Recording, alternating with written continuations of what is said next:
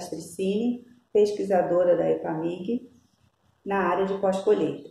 Atualmente eu trabalho na, no campo experimental do Gorutuba, que pertence à EPAMIG Norte, localizada em Nova Porteirinha, norte de Minas Gerais.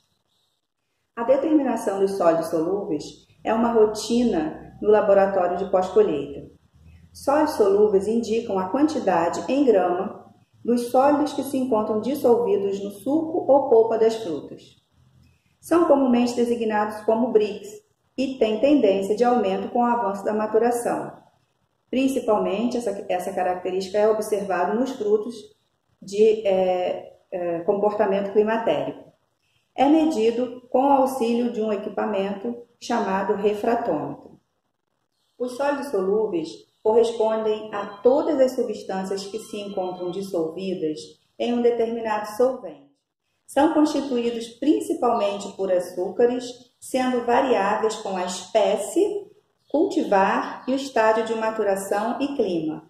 Então, temos aqui, por exemplo, duas espécies é, de citros, que vai variar um pouco em relação ao teor de sólidos solúveis, uma outra fruta, melancia, estádio de maturação, a gente pode observar um, um fruto, um umbu verde, mais, mais em estágio verde, e um fruto mais maduro.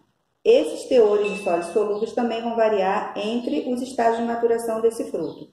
E a banana, nesse caso aqui está bem madura, é, que varia também se ela tivesse, se fosse um fruto verde. Seriam valores inferiores para uma banana verde e mais elevados para a banana madura. No entanto, para o umbu, que é um fruto característico da caatinga, verifica-se valores bem semelhantes é, nos diferentes estágios de maturação, seja no fruto ainda de vez colhido na planta ou quando já maduros colhidos no chão. Os açúcares acumulados constituem as principais substâncias químicas das frutas.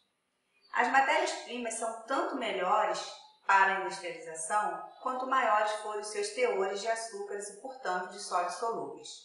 Também para o consumo in natura, o maior, a maior doçura é mais apreciada. Faremos uma pequena demonstração das diferenças entre os teores de sólidos solúveis entre as diferentes espécies de frutas e entre os estágios de maturação das mesmas. A determinação do valor dos sólidos solúveis é simples e é lida diretamente no refratômetro. Neste caso, eu estou trabalhando com o refratômetro digital. Bem, a amostra da, do, do, suco da fruta em que eu, em que eu pretendo avaliar o teor de sólidos solúveis, ela é inserida diretamente sobre um campo aqui no equipamento e, e a leitura é realizada. A gente aguarda um pouquinho. Esse aqui, tá, para o suco de limão, eu estou vendo a, observando a leitura de 8,9 graus Brix. Corresponde a 8,9 gramas de sódio solúveis em 100 ml de suco, no caso do limão. Mudando a, a fruta, vou fazer a avaliação agora do suco de laranja.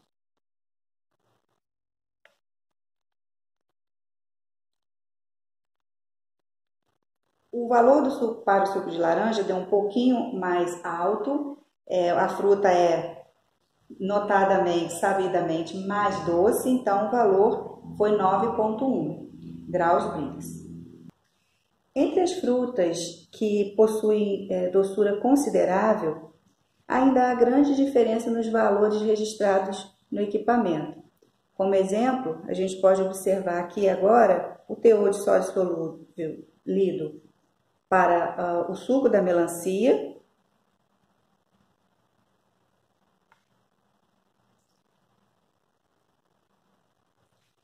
Registrou aqui o valor de 10,7 graus Brix.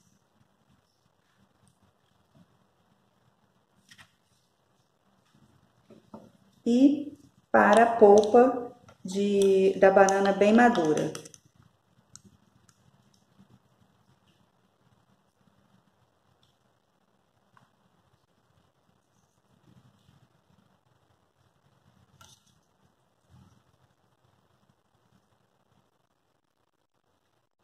Sendo registrado 23,5 graus Brix.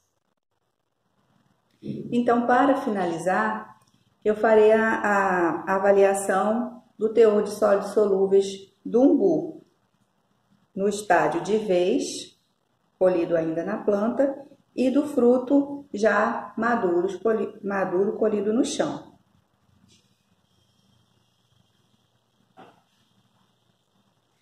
A leitura para o fruto de vez foi 8,3 graus Brix.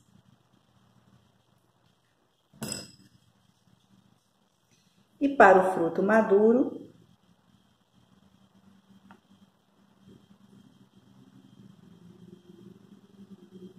observa-se o valor de 6,3 graus Brix.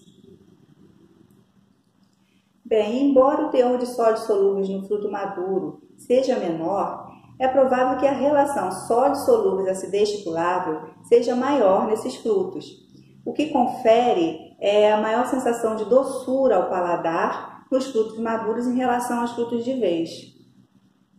E apenas para explicar melhor, a relação sólidos solúveis acidez titulável é uma forma para avaliação do sabor, ela sendo mais representativa que a medição isolada do teor de açúcar ou dos sólidos solúveis ou da acidez. Ela dá uma ideia de equilíbrio entre esses dois componentes.